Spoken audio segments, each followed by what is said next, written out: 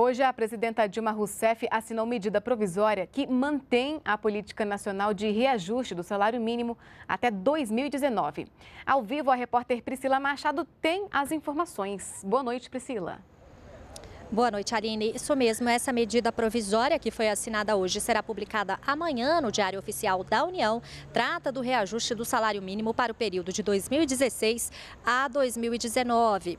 O cálculo para o reajuste do salário mínimo continuará a ser feito com base em uma fórmula que utiliza a inflação dos últimos 12 meses e o PIB dos dois, dos dois anos anteriores. O PIB, Produto Interno Bruto, é a soma de toda a riqueza riqueza produzida pelo país. A presidenta Dilma Rousseff explicou que a política de reajuste do salário mínimo começou a ser adotada em 2011.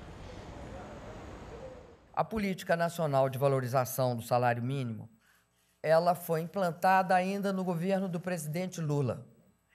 E ela vigia ano a ano e ano a ano se mandava um projeto para o, para o Congresso. Em 2011, nós mandamos um projeto que tinha a visão de um período de governo.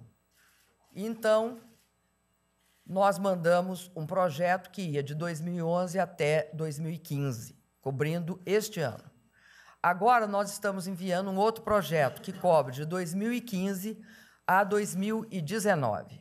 Portanto, até 2019, essa política que representou um ganho real do salário dos trabalhadores mais, mais pobres desse país, ela passa a ser novamente uma realidade.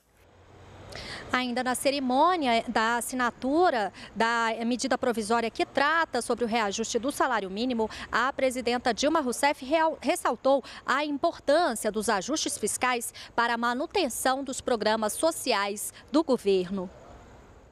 É importante o Brasil continuar com a política de valorização do salário mínimo. Por que, que é importante? Porque é o reconhecimento que o crescimento econômico ele não se dá em detrimento do trabalhador.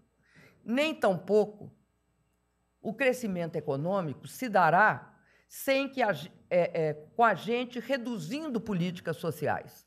Nós vamos manter todas as políticas sociais.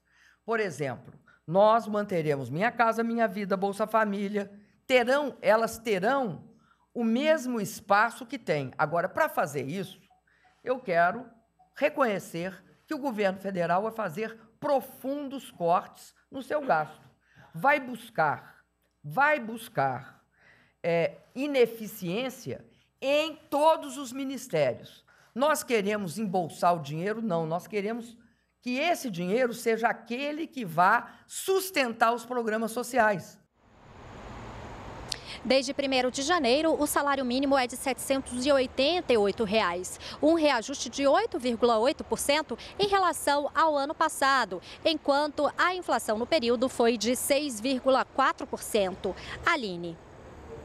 Tá ok, Priscila Machado, muito obrigada pelas informações.